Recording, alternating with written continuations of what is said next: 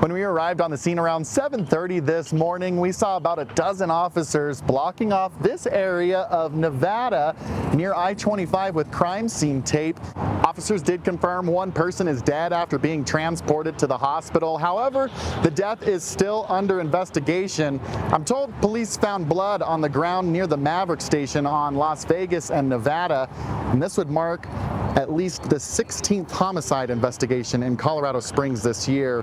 That number is double where we were at this time last year. CSPD homicide detectives responded and are assumed, have assumed responsibility for this investigation. At this time, there is no suspect in, in custody. So, uh, detectives are working on developing investigative leads, including that suspect information and description. Police have blocked off Nevada in both directions between Mill Street and I-25. It's a very busy area out here, so if you can avoid this area.